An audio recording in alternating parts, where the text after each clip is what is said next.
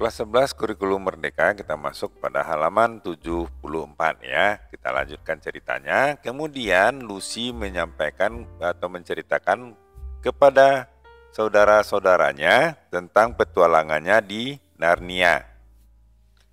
Namun, mereka tidak percaya mempercayainya. Saya tidak pernah mendengar sebuah tempat yang disebut dengan Narnia, kata Peter.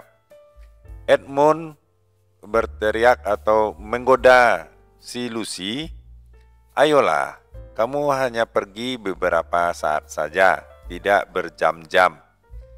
Lucy bersikeras bahwa Narnia itu ada, nyata ya.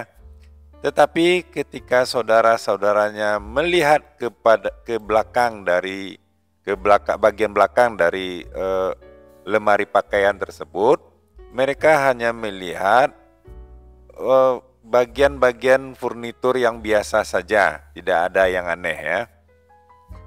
Edmund menggoda Lucy tanpa henti hingga dia menyadari dia menghilang di dalam lemari pakaian suatu hari. Edmund mengikuti Lucy dan menemukan dirinya juga di Narnia. Di Narnia, Edmund tidak bertemu dengan Lucy dan teta, uh, dia bertemu dengan uh, penyihir putih yang memperkenalkan dirinya sebagai Ratu Narnia. Si penyihir memberi makan uh, Edmund Turkish delight yang telah di uh, dimantrai ya sudah ya dan meminta dia untuk membawa kembali saudara-saudaranya. Ketika dalam perjalanan pulang ke lampu, tiang lampu sebagai tanda ada uh, tanda batas antara Narnia dan dunia nyata, Edmund melihat Lucy dan diinformasikan tentang si penyihir jahat. Tetapi dia tetap tidak percaya.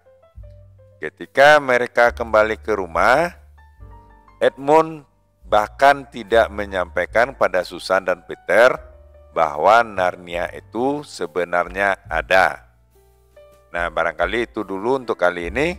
Jangan lupa subscribe dan like videonya, mudah-mudahan bermanfaat. Sampai jumpa.